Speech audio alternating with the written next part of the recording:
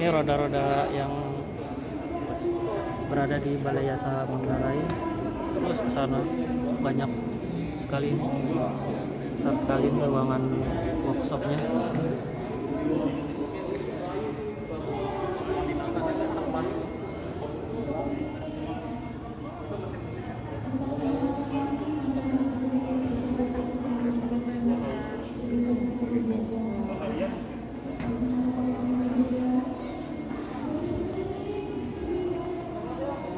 kita lihat bagian lain. Sama di sini. Roda baru di sini roda bekas yang diperbaiki kemungkinan. Terlihat sudah karatan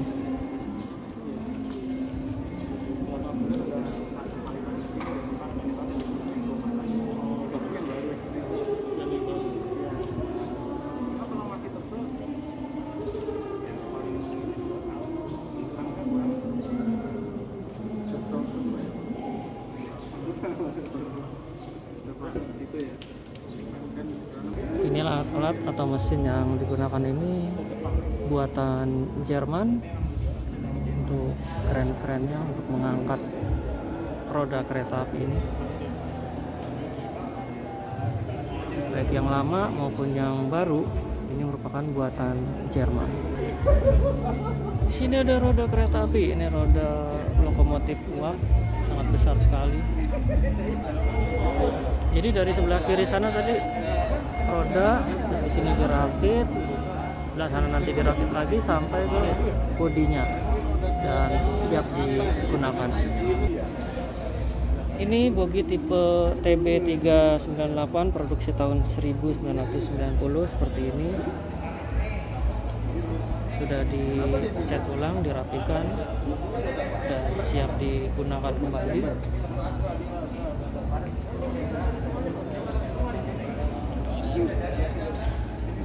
antara roda dan ini sudah dirakit kalau di sebelah sini ini E berarti kecepatan maksimal 100 km kalau F maksimal kecepatannya 120 km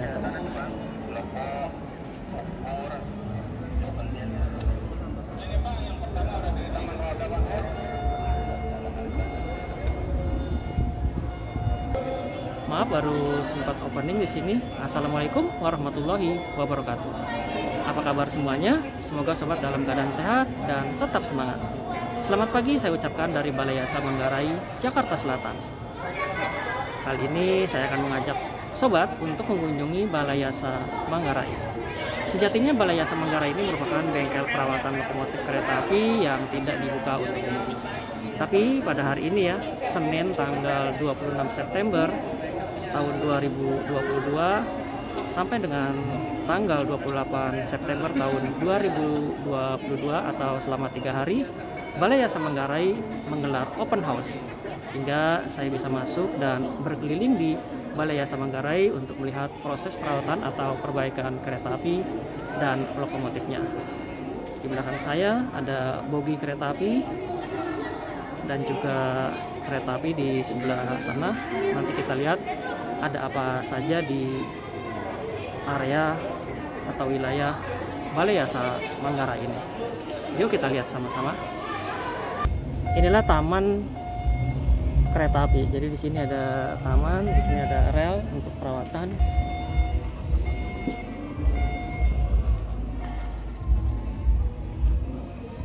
Nanti alat itu akan menyeberangkan kereta sana dan ke sini nih melewati rel ini. Oke, siap. Terima kasih. Ya sama-sama.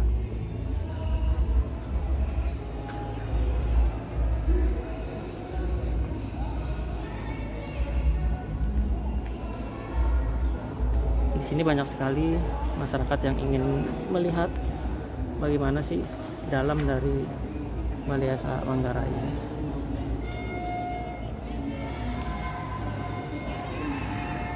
Untuk sobat yang ingin ke sini bisa mendaftar secara online ya.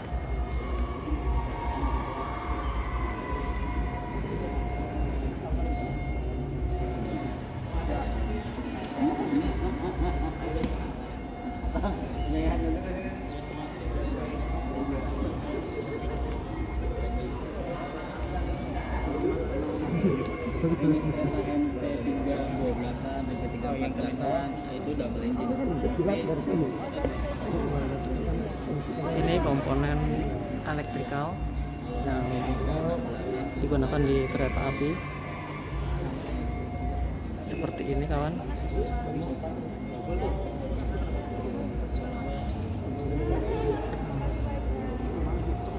Mesin-mesin apa nih? Saya juga kurang paham. Oh ya, Balai Yasa Manggarai ini beralamat di Jalan Bukit Duri Utara, Manggarai, Kecamatan Tebet, Jakarta Selatan. Jadi Balai Yasa Kereta Api itu merupakan bengkel kereta api yang merawat sarana untuk memastikan keselamatan dan kenyamanan penumpang kereta api.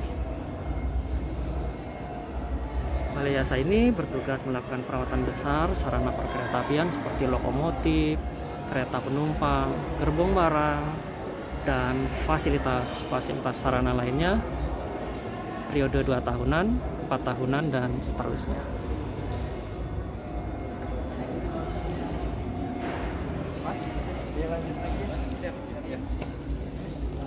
Sedangkan untuk perawatan rutin seperti harian, 6 bulanan, dan satu tahunan yang tingkat kerusakannya ringan itu biasanya dilakukan di depo.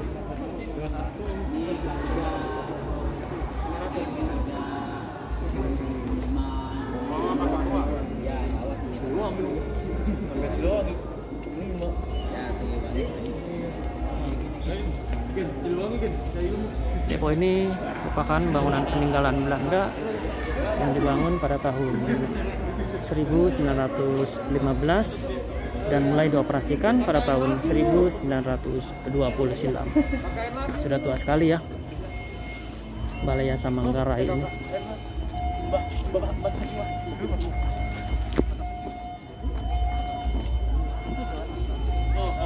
Ini ada sporting workshop, body workshop, seterusnya.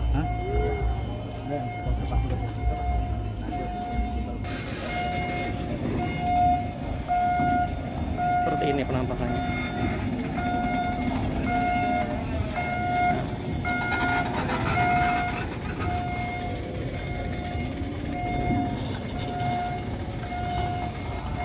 kita masuk ke ruangan body workshop Open House Balai Yasa ini merupakan bagian dari rangkaian perayaan HUT ke-77 Kereta Api Indonesia yang diperingati pada tanggal 28 September tahun 2022 dengan tema Bangkit Lebih Cepat, Melayani Lebih Baik.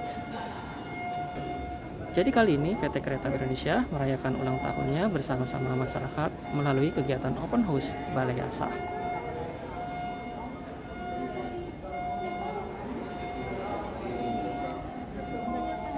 Tujuan dari open house ini untuk mengedukasi masyarakat bagaimana proses perawatan kereta dan lokomotif yang ada di Balai Yasa.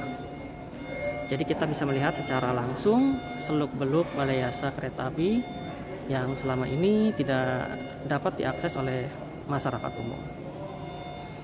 Ini ada kereta penumpang K3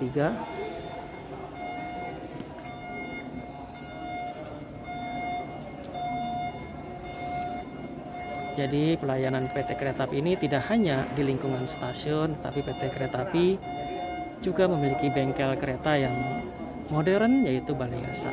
Salah satunya Balai Yasa Manggarai ini. Ini salah satu kereta yang sedang diperbaiki, sepertinya dicat ulang ini. Tuh, luas sekali ya Balai Yasa Manggarai ini.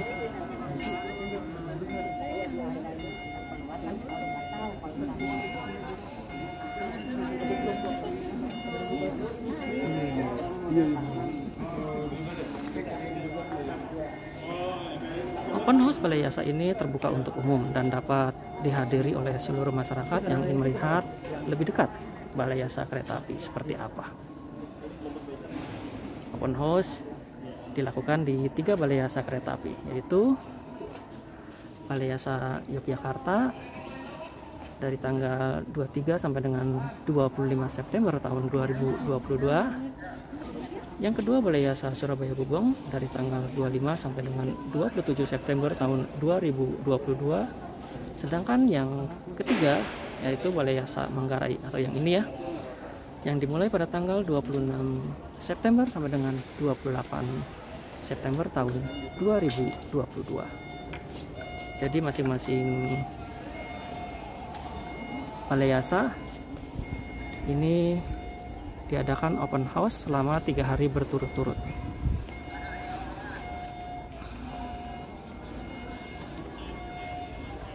Sini ada kereta ekonomi yang sedang masa perbaikan ini, sedang dipoles-poles, sedang dicat bodinya. Dengan diadakannya open house Balai Yasa, sobat bisa melihat proses perawatan sarana melihat kereta, gerbong, dan lokomotif yang sedang diperbaiki di Balai Yasa Manggarai ini. Dan juga melihat fasilitas-fasilitas perawatan yang ada di Balai Yasa dengan berkeliling di lingkungan Balai Yasa dan ada juga kegiatan-kegiatan menarik lainnya. Ini ya, masih terlihat. Rata-rata bodinya sedang dalam pengecatan ulang.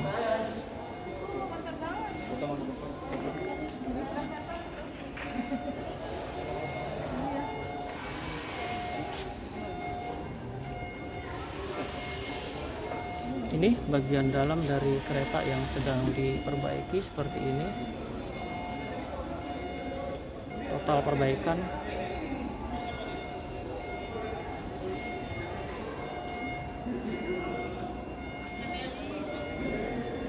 Bagi yang belum tahu ya alamat-alamat Balai Yasa yang sedang mengadakan open house.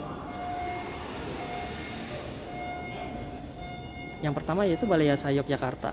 Itu berada di Jalan Kusbini nomor 1 Damangan Godok Suman Yogyakarta. Yang kedua Balai Yasa Surabaya Gubeng. Itu berada di Jalan Tapak Siring nomor 5 Pacar Keling Kecamatan Tambak Sari Kota Surabaya Jawa Timur.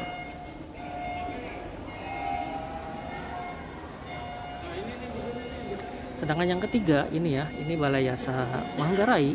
Itu alamatnya di Jalan Bukit Duri Utara, Manggarai, Kecamatan Tebet, Jakarta Selatan. Entah berapa luasnya ini, Balai Yasa Manggarai ini sangat luas sekali. Balai Yasa Balai Yasa yang ada di Indonesia ini itu rata-rata adalah peninggalan zaman kolonial Belanda. Dulu Balai Yasa ini dibangun oleh Stad Spoorwegen atau SS dengan nama Hoofdwegspaten de Manggarai pada tahun 1915 dan mulai beroperasi pada tahun 1920.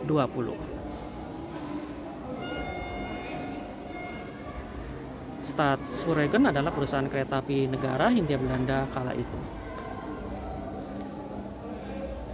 Di sini banyak sekali berjejer kereta-kereta penumpang kita akan coba ya menaiki apa ini namanya nih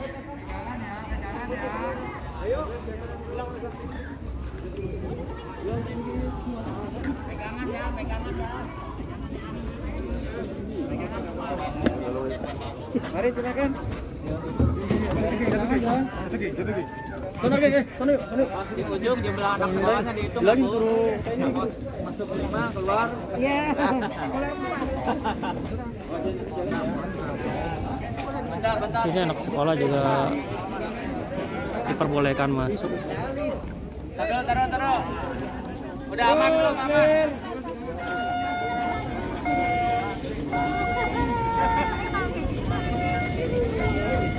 Berjalan dia nanti akan berhenti sesuai dengan rel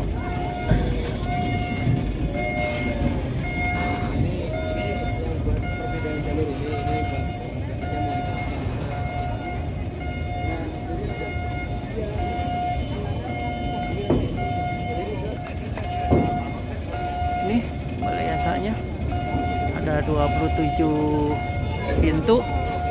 Ada body workshop. Body workshop juga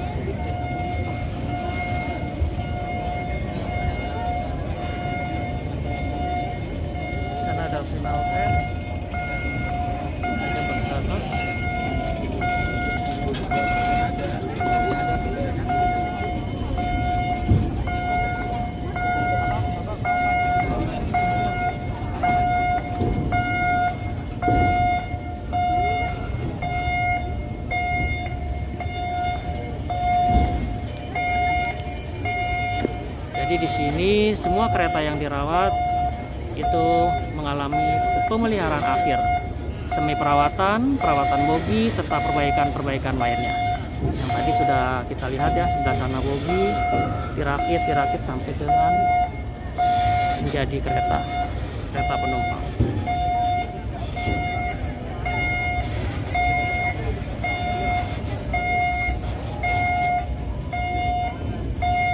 Balai adalah tempat yang digunakan untuk perawatan besar sarana perkeretaapian yang dimiliki oleh operator. Salah satu balai yang memiliki sejarah panjang perkereta apian Indonesia adalah Hop Rekpat Manggarai atau sekarang dikenal dengan Balai Yasa Manggarai. Pada masanya Balai Yasa Manggarai adalah yang terbesar dan termodern. Fungsi utamanya untuk pemenuhan kebutuhan suku cadang, pemeliharaan perbaikan lokomotif, kereta dan gerbong.